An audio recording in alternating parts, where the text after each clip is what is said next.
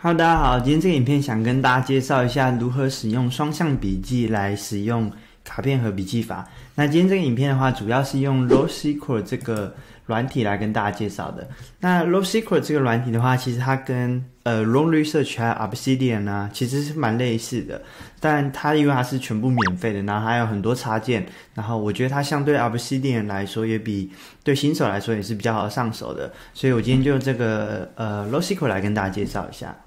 好，接下来的话呢，到 LowSecret 的这个画面，LowSecret 这个画面的话呢，它就是每天都有一个。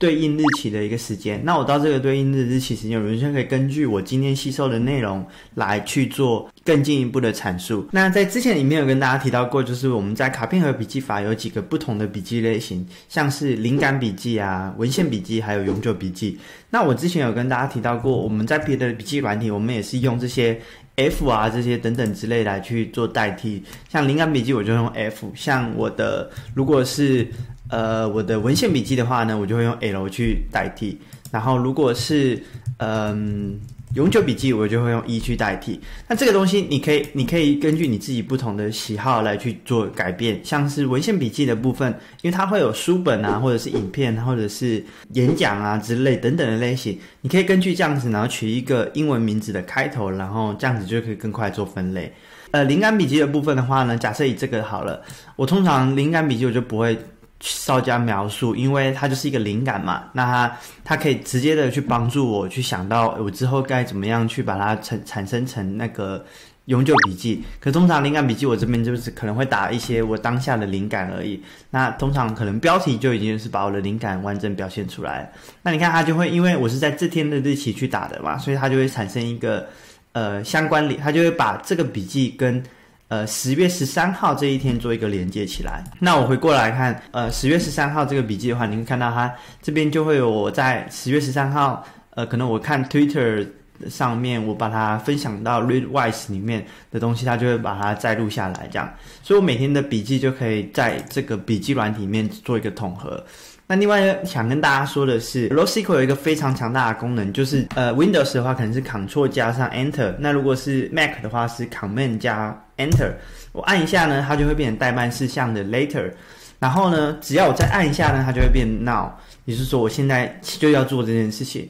然后它这个系统的话呢，它会主动的把所有的 Now 收集起来的这个画面，那这这个非常好，因为。我们在之前的影片有跟大家提到过，我们的灵感笔记跟我们的文献笔记，最终我们需要一个排程，或者是我们需要提醒自己，我们要把这个笔记转换成永久笔记。那这个方法的话，就可以提醒我，当我每天写这个笔记的时候，我就知道，你看，像我这边有这个，呃，如果我想经营个人品牌，最简单开始的主题是，就是朱琪老师的这篇文章的话呢，是我。前几天看的一个文献笔记，那这个文献笔记的话呢，因为我要把它转成呃永久笔记嘛，所以呢，我就把它这边我就把它列为待办事项的那，那我就可以确保说，诶，当我把它完成之后呢，我再把它按档，那它就不见了。那这样子的话呢，就可以把我刚刚所说的结合笔记软体来实现代办事项。然后就可以把这个做一个完美的结合。好，那接下来的话呢，就是回到第二种笔记类型——文献笔记。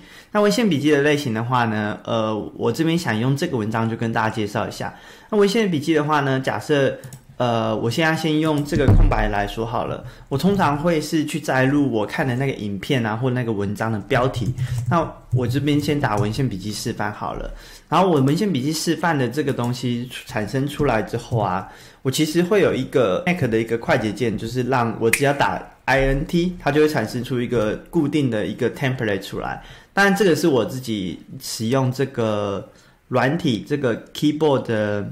Maestro 之类的这个东西的软体产生出来的。那实际上的话呢，我有另外一个方法可以使用的话，是在 l o s i c o 里面，它会有提，它会也会有一个方法是可以帮助你产生 template 的。那这个 template 的方法的话呢，就是你只要在这边打 template，那你看我这边也有设定好 literature notes，还有这个东西。那我点一个 literature note，那它也会产生出我我我想要对应的一个 format 出来。那这个影片的话呢，我不会跟大家详细介绍怎么样用产生出这个 template 出来。那之后会在别的影片跟大家介绍。好，那我们产生出来之后呢，我们就可以在这边打。所以假设我今天看的是一个文章好了，那我这边就会在这个标签的部分的话呢，选择 article，或者是我这边可以选择是 video 等等之类的，就可以看依据你现在选的那个类型来去做判断。然后这边的话呢，这个时间的话呢，就是提醒自己，你如果说我现在选一个日选一个日期好了，假设我选在十三号的好，十二号或十三号，我选完之后，它就会产生一个连接。那这个我连接之后，它就会反推回去，在我这个地方也会产生出来。你看，我在这个 link 的 reference 出来，还会产生对应的出来。那更具体的示范的话呢，我想要用我前几天的这个呃。朱琪老师的这篇文章来跟大家示范一下，就是呢，我会有一个呃 category，然后像我看了这篇文章，我想说我要在这个影片跟大家做示范啊，然后这个是朱琪老师的文章，然后会有一定它的来源是来自于他的 Facebook，然后这边的话 keyword 就是像之前也跟大家提到过的是，我想要去找一个。Keyword 是让我可以在之后我自己提醒之外，譬如说打个人品牌这个关键字的时候，我就会想起来说，哎，我有这篇文章，然后这篇文章可以帮助我去有一个更好的理解。然后再来是在底下的部分的话呢，这个 Contents 的部分，我会去把整篇文章的文原文输入进去。再来是 Literature Notes 的部分，那文献笔记的部分的话呢，我会根据这个本来的原文或者是 v Video，然后把它转换成。简单的几句话，然后跟我自己想要的内容，然后去把它生成这些文章。那我生成这些笔记内容之后呢，下一个步骤的话呢，我就会想办法把它变成这个永久笔记。那像这篇文章而言的话呢，呃，有提到一个东西，跟我自己现在在做的这个频道很息息相关，就是说呢，大家他其实不会特别想要学习各种生产力的工具，他而是为会为了想解决某一个问题而学习工具。我觉得这对我的观念还蛮重要的，因为也会是我想要在每一个影片尽量跟大家提出来说，我想解决的问题是什么。这样子的话，这样大家在看这个影片的同时的话，也不会迷失在说，哎，我现在只是在教这个这个工具要怎么使用，这个工具有什么优点之类的，而是可以具体的去套用在你可能想要的一个实际的案例里面。回过来这边来说的话呢，像我这边跟大家所提到的这个代办事项，也是想解决这个问题，因为有很多人他可能。了解到卡片和笔记法的这个概念，但是卡片和笔记法里面，我觉得最困难的其中一个点，可能是你要怎么样确保你可以把你的文献笔记跟灵感笔记转换成永久笔记。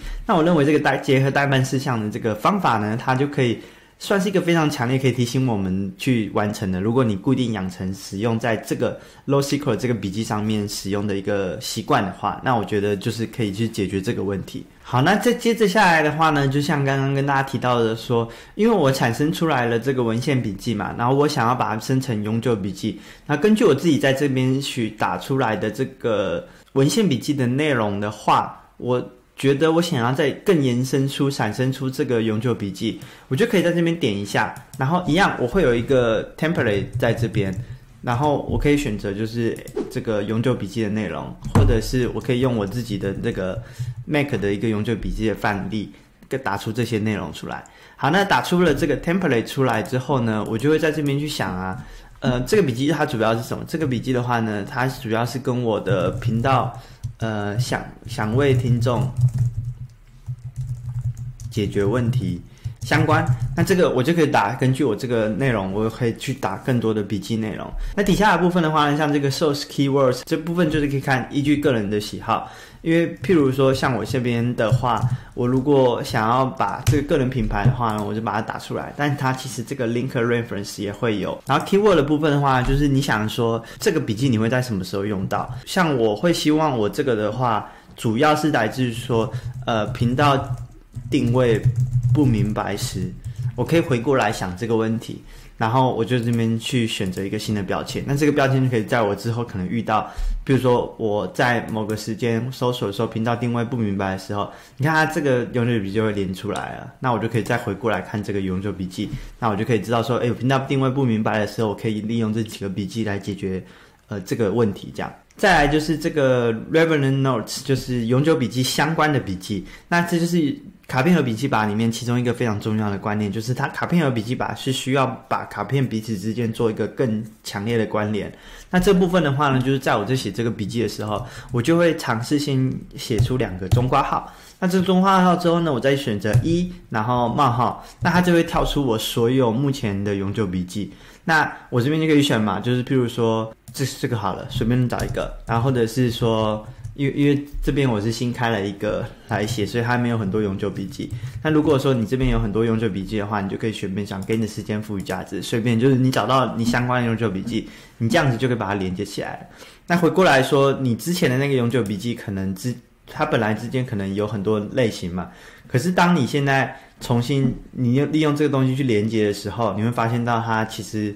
这个 link reference 它们互相就会连接起来。所以这样子就是你会非常快速的找到，诶，我现在有这个问题嘛？假设我现在有这个笔记内容，然后这个笔记内容来源是什么？然后这个笔记内容它有关联的笔记又是什么？都会借由这种双向笔记很快速的连接起来，那你就可以很快速的把你以前写过的笔记内容整体把它连接起来，那这个帮助我们思考还蛮多的。